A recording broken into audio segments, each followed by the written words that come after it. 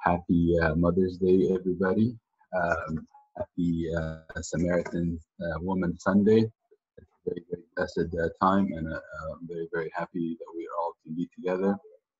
Um, we are living, of course, in uh, wonderful days of the Holy 50 Days, which are considered the most joyous, most happy days of the calendar of the year. And um, basically, um, the church sets for us um, the, what it really means to live in the resurrection. We all experience uh, uh, being at the foot of the cross during Good Friday. We all uh, live together the Lord's resurrection on uh, the Feast of the Resurrection. And now the church puts to us what this life on earth would look like uh, after the resurrection. The first thing that is needed for this new life, uh, uh, which is really what a resurrection is, a resurrection is new life after death. So we are actually living the first resurrection. We as Christians are very, very blessed because we have two resurrections. We have this resurrection now here on earth, which we live in our Lord Jesus Christ. As he is resurrected, we are resurrected. And then we have a second resurrection where after his second coming, we will be raised with him again. And then this is will be the second resurrection and the final resurrection where we live with him eternally. But we have a, very amazing blessing of this first resurrection. Um, and this and the church sets for us what does that look like?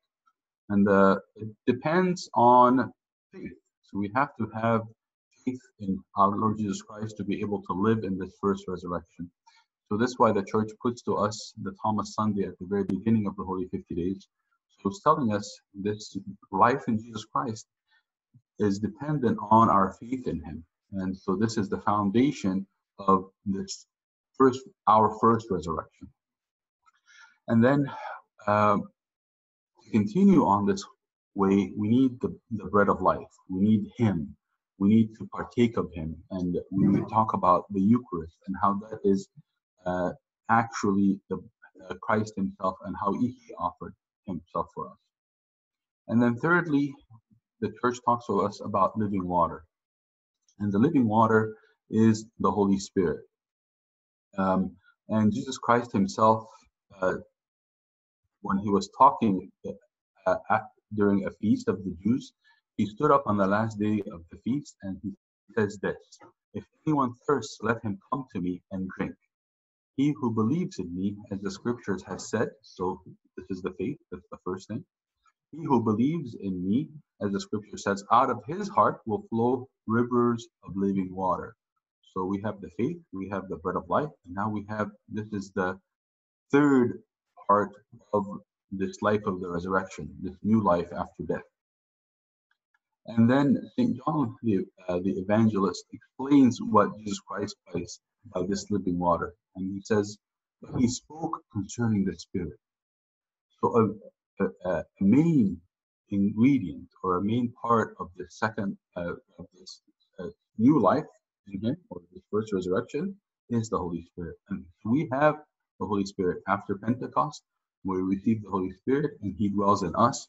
And then this Spirit lives in us and He gives us direction and encourages us, lifts us up, gives us discernment between good and evil, uh, helps us to understand the, the scriptures and opens our minds to uh, to what our Lord Jesus Christ is saying.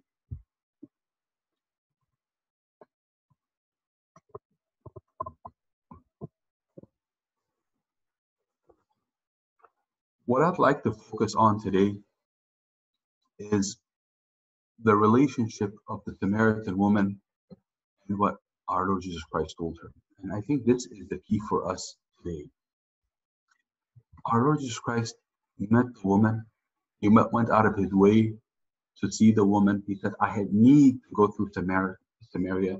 He met, he met her at the heat of the day and where nobody else would come out in the heat of the day. And he had this amazing encounter with her. And he talked to her um, about, uh, give me, he asked her, give me a drink. And he said, and she said, like, how is it that you talk to me as a, a, a Samaritan? For Jews have no um, dealing with Samaritans. He talked to her about the water that he can give her.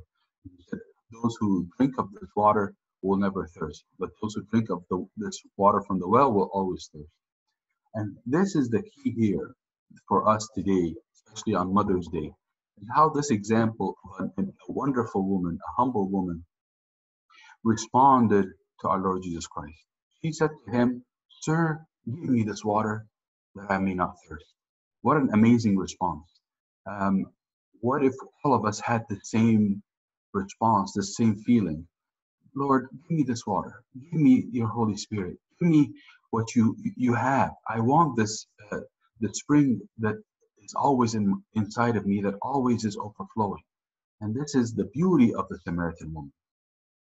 Now, of course, we don't know much about the Samaritan woman except what is written in the Gospel according to St. John.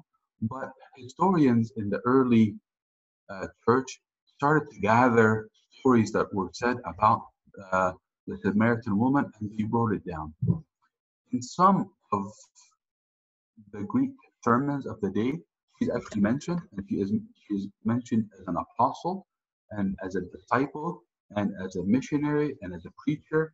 And some uh, preachers at the time uh, were putting her even a little higher than the disciples because of the amount of work and amount of converts that she had won for our Lord Jesus Christ. The history uh, and the tradition of, uh, the churches tells us that she was um, baptized on the day of Pentecost. So as St. Peter preached and all the people were gathered, she and five of her sisters were baptized. So she didn't just come alone, but she came with five. So this was her maybe her second missionary journey. Her first missionary journey is actually mentioned in the gospel that we read today, where she went to the villagers and said, Hey, come, he a man that told me everything that I have done. Could he be the, one? Could he be the Messiah? This was considered maybe her first missionary service. Then the second one was to her own sisters, and then she was baptized, and she took on the name of Fotini. Fotini means the enlightened one.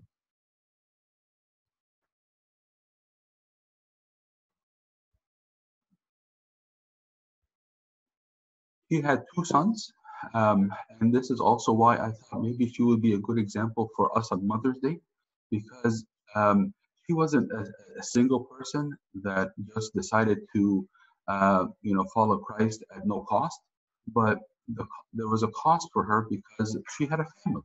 She had two sons, uh, Photinus and Joseph. Um, and so she, in, in, all these efforts that she did, these these brave missionary trips were this uh, of and teaching Christians, she had to consider, well, what about my kids? What about my sons? Uh, what kind of conditions are they going to live in? What kind of, how are they going to travel around? Uh, how are they going to eat? How are they going to study? How are they going to do this and that? All these things that mothers think of. But she did not let those things work, weigh her down, but she put their uh, spiritual priorities first.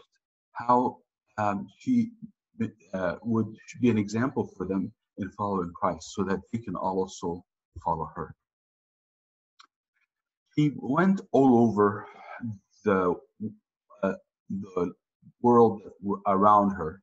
Um, and uh, she went uh, at, at, in many different places. I think it's mentioned that she went to Carthage, Carthage in Africa and many different parts of Asia. Um, and she preached the Lord Jesus Christ. This caused a stir. This caused her some, uh, you know, notoriety uh, for her. And then Emperor Nero heard about. So he, when she was in Africa, he ordered her to be arrested and to brought him. He found out, and so she went to him before she got arrested, and she appeared to, in front of him with her five sisters and her younger son Joseph. And uh, Emperor Nero um, asked her, "Are you ready to die for this Nazarene. And uh, she said, yes, me and my all those with me are uh, and re- are ready. She not just had her sister, but she also had her friends with her, many, many people, a big group.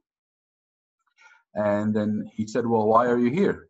And she said, well, I'm here to try to uh, tell you about our, my Lord Jesus Christ that you might also believe.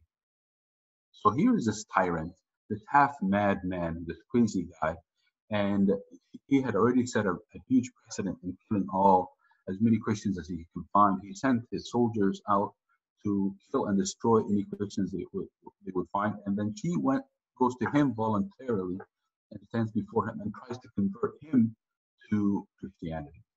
I just wanted to um, let us think about that for a minute. How brave she was, how um, how how amazing that effort was to go to the one who the murderer and a killer of Christians and stand before him and say, "Hey, how about you? You know, what do you think about Jesus? Who is Jesus? How have you heard? Let me tell you what I know about uh, my Lord and Savior." So this is what this was Saint Fotini. Um, of course, he didn't buy it. Um, he didn't. Uh, he was intent on killing her and killing uh, all those who were with her, or at least um, trying to uh, convert them or to get them to deny uh, the Lord Jesus Christ. So he ordered them to be tortured, um, and he tortured them severely. The, the, it is said that the um, torturers turned. so they would go around and beating Saint Fotini and all the who were with her, and then they would get tired. So they had one-hour shifts. one torture would take an hour and beat them severely, and then another hour, another one, and so they they were you know the the uh, the torturers had breaks, but of course those being tortured just kept getting tortured. That didn't work. So uh, the Emperor Nero tried to entice her. He uh, uh, put her uh, put her and her sisters on on these big golden chairs. They call them thrones, um, and um, they put a golden table in front of them with all kinds of uh, jewels, all kinds of gold, all kinds of beautiful dresses, all kinds of beautiful makeup, all kinds of perfume, you know, all the things that you know young women or if uh, any woman would uh, you know love. You know, it's just like a, a day. You know, they would go and and just enjoy all these perfumes and gold and jewelry and and this would be their life. This is basically what he was telling them. This is could this could be you. You can come here and you can live in the mansion. You can have all these gold. You can have a spa day every day. Um, but it didn't work. Fotini, of course, was uh, you know had her direction. She had her purpose, and this didn't work. So Nero tried another way, and he tried to send his daughter, um, Domnina, I believe it was her name, yes, uh, and 10 slaves, sorry, 100 slaves. They sent, uh, they tried to also entice her with showing her like how the, women in the palace live. Um, but that didn't work. As a matter of fact, the Saint Fotini ended up converting uh, Domnina and all the hundred slaves. Uh, and they were baptized. This, of course, infuriated the emperor, and he tried to burn them. So he set them in the furnace for seven days and left them in there with the heat cranked up as high as it can go at the end of seven days, they opened the furnace and no, no harm to Fotini or anybody was with her. Um, her sons were actually with her. Joseph uh, was went with her initially from Africa to Rome, um, but uh, uh um, but then her her older son Photinus joined them later, uh, according what the story implies. Um, after the fire didn't work, they offered, uh, they gave them poison. So Saint Fotini said, "Let me take the poison first," and she took the poison, and nothing happened to her. And then all those with with, with her, her sisters, her sons, all of her friends took the poison, and nothing enticed them either. They tried. They imprisoned them for three years, and they continued to torture her and uh, and and them, and nothing made them budge. Um, they gave them the worst living conditions uh, ever, but nothing. Uh, it is said that their cell or their prison became like a house of God, where there's constant praising, with constant worship. And this tells us that as Christians, we have that ability, we have that power, and that no matter which situation we are in, which you know condition we're in, we can make wherever we are to be the house of God through our um, own um, spiritual efforts, our own prayers, our singing, our joy. And it said that many of the, like other stories of the saints, many of the jailers themselves and their families were also converted to Christ because they saw that joy uh, uh, that was in them. Finally, the emperor gives up and then he does not kill her, but he kills all her friends and her two sons. Um, and of course, initially he's joyful for them, he's happy for them, but he's sad for herself. She is uh, kind of uh, brokenhearted. She doesn't have them anymore, and she prays to God that you know she feels like that's enough. Her mission is done, and if He wills, that she's ready to, to go to Him. So she prays, and then on one of the nights, the Lord Jesus Christ appears to her and makes the sign of the cross for, for her three times. And uh, she takes that as that he has heard her prayers. And a few days later, she is able to deliver up her soul uh, into his hands. A wonderful, amazing, beautiful story um, that uh, tells us the caliber of this woman that our Lord Jesus Christ met at the well, and to what extent she went through, and the major change from before the well to after the well. Um, but the question I want us to ask ourselves and think about it just for a few minutes is what is the secret sauce of her life? What was it that allowed this to be to happen? What allowed her to be this successful in her missionary service and in her life and leading her children and leading her sisters and leading her friends.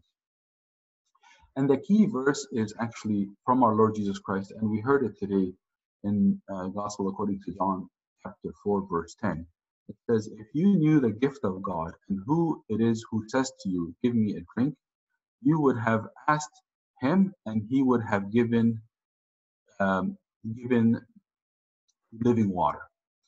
So our Lord Jesus Christ says the secret sauce, says the, the secret here. If you knew the gift of God, so she knew the gift of God, she understood the gift of God, she believed, she asked, she received. And, and a lot of times, people who don't know God Himself, our Lord Jesus Christ Himself, then none of the other stuff can follow. And so this is this is the key for us. The rich young man, for example, when uh, our Lord Jesus Christ uh, talked to him, and he says, uh, "All you have, give, sell it, and give it to the poor, and come follow me." He struggled with that. Why did he struggle with that? Maybe he didn't really know who was talking to him. If he had known that the one that was talking to him is the King of Kings, Lord of Lords, the Creator of all creation, then what difference does it make? Why not follow him? Why not give up everything for him? So to know him, to know the gift that he has and the gifts that he gives us is, is the, is the secret to being going from A to Z. That St. Peter and the disciples says, Lord, look, we have given all things so we can follow you. Where can we where can we go? You have the uh, keys to eternal life where can we turn? So they, they understood. Of course, they struggled sometimes, but they knew. So the key for us is how do we know or how do we keep knowing? Um, and this ties in with the Pauline epistle that we read today. It says, if we were raised with Christ, so this is the first resurrection, if we are raised with him, see those things which are above uh, where Christ is sitting on the right hand of God. Set your mind on things above. So then, if we are in this second resurrection, sorry, in this first resurrection, then the things that are above are the, the focus, and the things that here on earth are, are, are secondary. The things on this earth were never, ever, ever meant to satisfy the human soul. Um, Solomon, in all his glory, he had the biggest feasts, he had the biggest tables, he had the most uh, outrageous palaces, the fanciest clothes, um, all you know kinds of people around uh, surrounding him and, and praising him. But at the very end, he says, vanity of vanity. All is vanity. So Solomon, who had all these things of the, the of the earth, uh, realized that those things don't satisfy.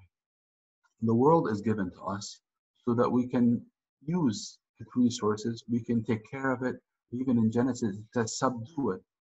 Uh, but it's not to fulfill us. The only thing that can fulfill us is our Lord Jesus Christ. Um, Saint Fotini realized this. She knew before the well, she had five husbands, but those five husbands never fulfilled her, never satisfied her, never made her feel complete, never made her feel fulfilled. But after the well, she was fulfilled. She was no longer thirsty. She, she, she was filled with the gift that the Lord Jesus Christ gives her. And we can see that in, in her life. So we put her in front of us. And this is why I love this, this verse very much. Basil the Great talks about a painter. And the painter is creating a painting from a picture, um, or even from a person sitting in front of him. But it, he draws a little bit and then looks at the painting, and draw, draws some more. Looks at the picture and draws some more. Looks at the picture and draws some more. he's saying our life has to be like this. We look at the saint, Saint Fotini, and we paint in our life a little bit more.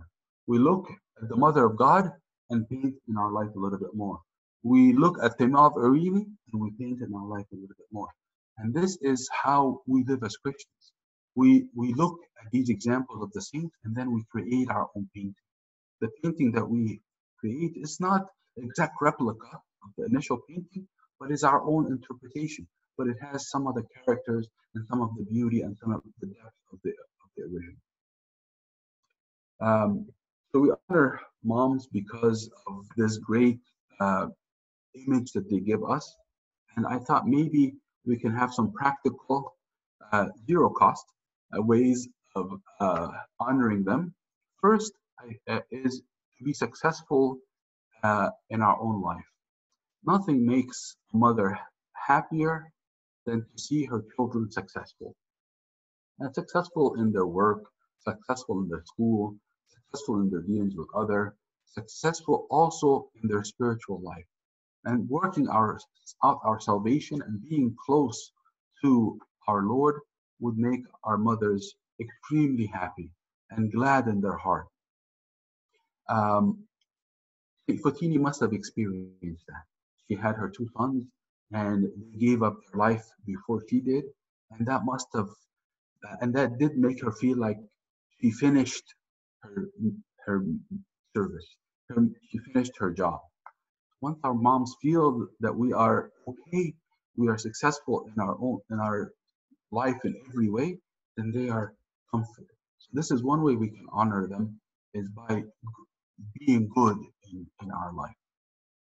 The second thing is to acknowledge them verbally. Say thank you. You did a lot. You cried for us. You labored for us. You toiled for us. You up nights for us. You cooked a gazillion meals for us. And you did so much for us. We acknowledge those things for our, our mothers.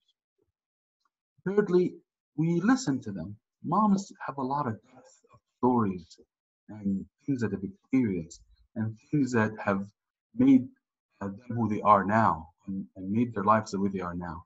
So we, we, we listen those to those stories not grudgingly, but because we want to know the, these real life lessons that they have. And by listening to them, then that makes them happy and that honors them. That leads us to the fourth point, which is to take interest in their lives. What are their lives like? What do they do? What are they? How are they spending their time? And the more we take interest in their life, then that the more we are honoring. And finally, we can honor them by loving their children and their grandchildren. So if you are a husband, then love your wife's children. If you're a son, then love your wife, uh, your mom's other children, your siblings. Uh, if you are um, also a husband, then love um, your um, your children because that uh, honors your their grandmother.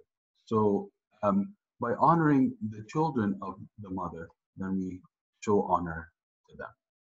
May God bless you all. May God bless us and help us to have a wonderful Mother's Day. May God be with you and glory be to God forever.